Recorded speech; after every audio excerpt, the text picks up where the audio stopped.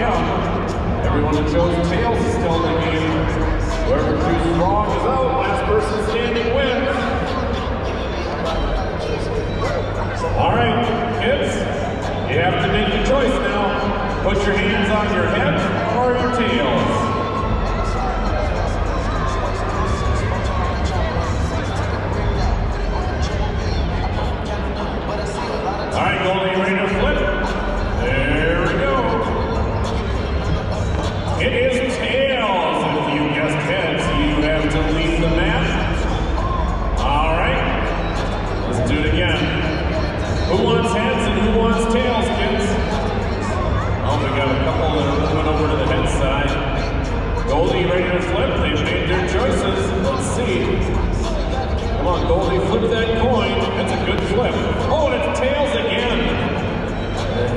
Just have a shorter walk off the mat. All right, who's going to switch sides this time? We only have one brave one. He thinks, nope, we got two. Oh, this one's coming down to boys against girls. Heads or tails? It's tails again.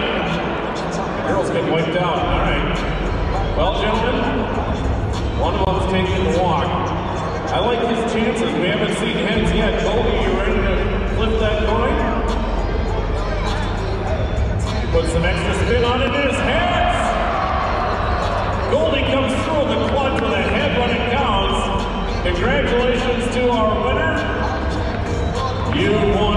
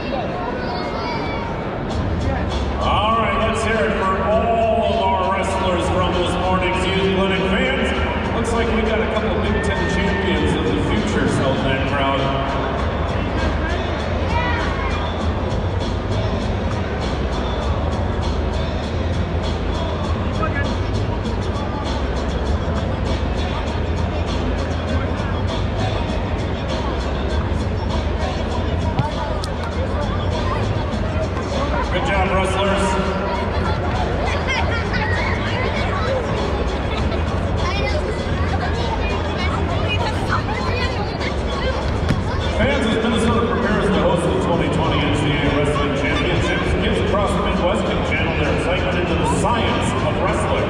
This is the contest